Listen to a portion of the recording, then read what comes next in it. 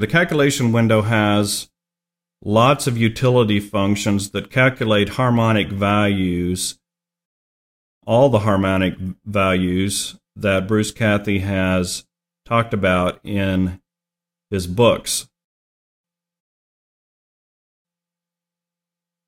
We can calculate great circle distances, second coordinate, which is where you enter a coordinate, a bearing, and it gives you and a distance, and it gives you where the second coordinate is. Measurement conversion, arithmetrics, harmonics, uh, latitude discovery, harmonic tables. You can convert earth points to grid points and back and forth again, or you can calculate the sun position at a certain location and time on the earth.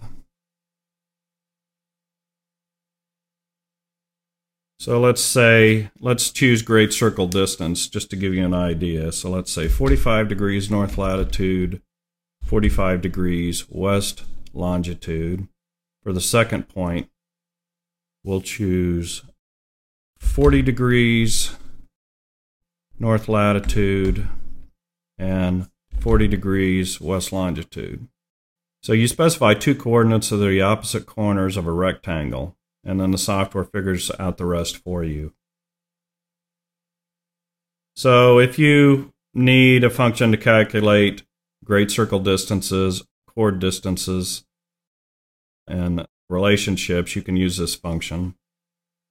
Second coordinate is the same thing, except you enter a coordinate, a distance, and a bearing, and it will give you the second coordinate and the corresponding bearing for the second coordinate. Let's go to measurement conversion. This is just a utility tool that converts different measurements to other measurements. Let's go to um, harmonic conversion.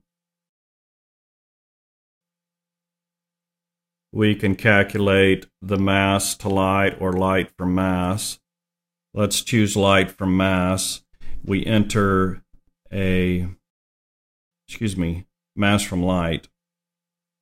We're going to enter a light harmonic. And in Bruce's books, he discovered that the theoretical maximum speed of light in free space was 144,000 nautical miles per grid second.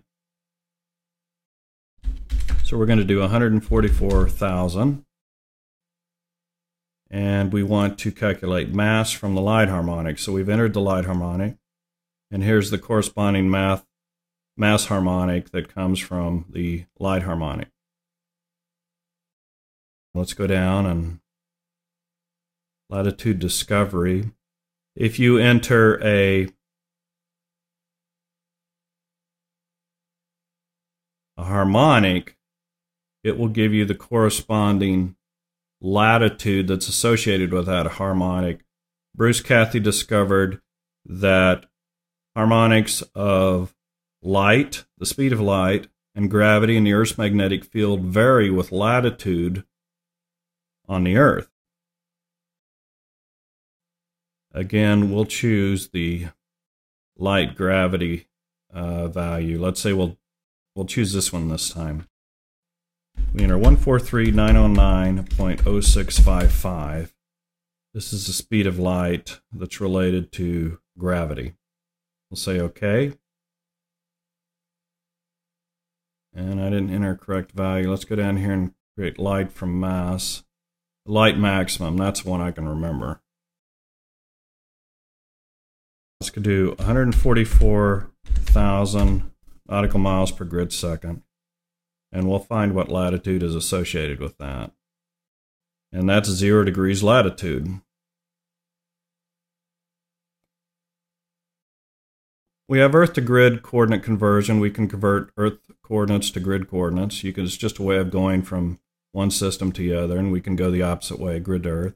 Sun position, if you need to calculate the sun position at a certain location on the Earth at a certain time, you could use this function here.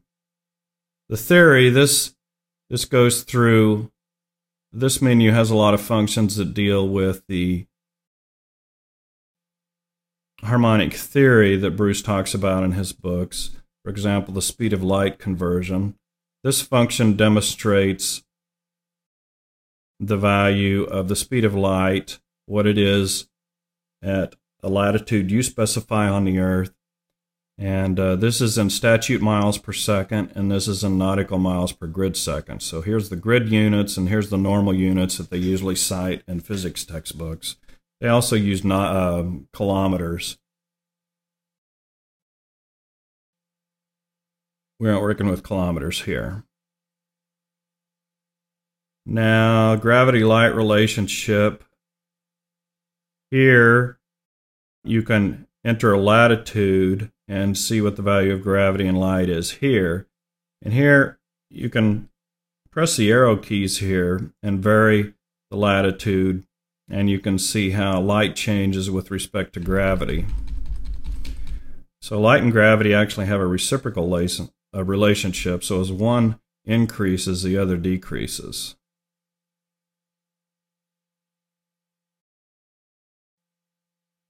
And then in his books, he also talks about the grid polar squares. These are the calculated point values for the grid polar squares.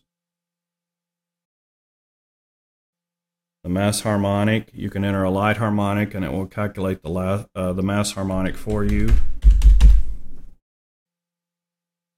There it is right there. Mass harmonic by latitude, you can actually calculate mass harmonics by latitude. Entering a latitude, it will give you the light harmonic and the mass harmonic, and then the square root of light reciprocal. And here are the equations 1, 2, and 3 that he discovered. The energy harmonic will enter light.